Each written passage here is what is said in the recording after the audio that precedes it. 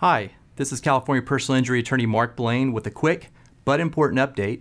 If you've been injured in an accident and you have a personal injury case that is ongoing, and you engage in online social networking sites like Facebook, LinkedIn, or Twitter, you better be mindful that the insurance companies have, in many cases across the United States, investigated injured people on their social networking accounts.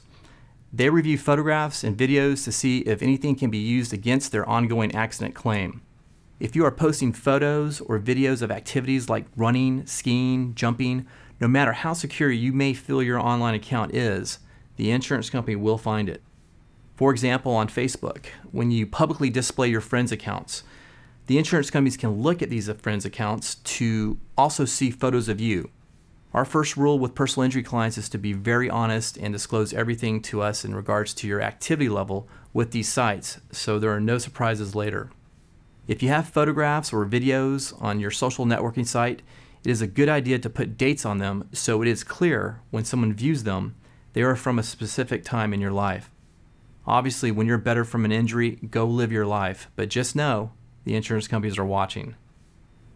If you enjoyed this video and would like to see others, visit my website at blanelaw.com, click on the Video Center to see other legal videos that will help you with your particular injury.